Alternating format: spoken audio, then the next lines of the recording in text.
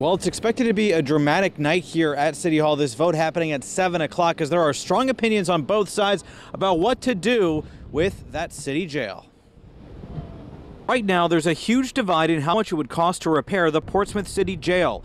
The city attorney says the price tag is about $30 million, while the sheriff's office says the number is really $300,000. Basically, this is just, we'll throw out any scare tactic to the, the citizens to say, hey, we need to close this facility. Colonel Marvin Waters says the city is throwing out a huge inaccurate number to get city council members to vote to close the jail tonight. It's not best for the city, and that's the problem. We're not doing what's best for the citizens.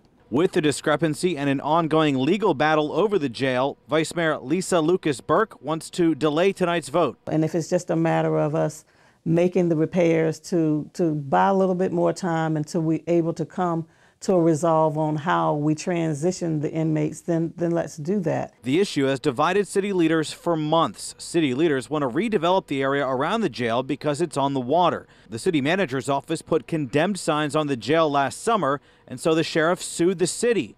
In January, a judge ruled the city cannot condemn the jail and must work to maintain it as long as the building is still considered the jail. The city council will vote tonight on closing the jail. The city attorney is recommending sending the inmates to the other jail in Portsmouth, Hampton Roads Regional Jail, where the city already pays for 250 beds a day, but is only using about 35 of those beds.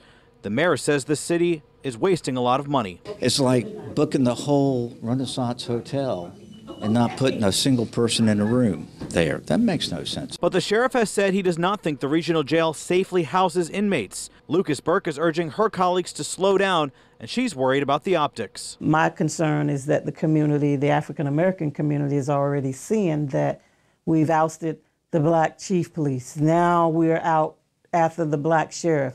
You know, who's next?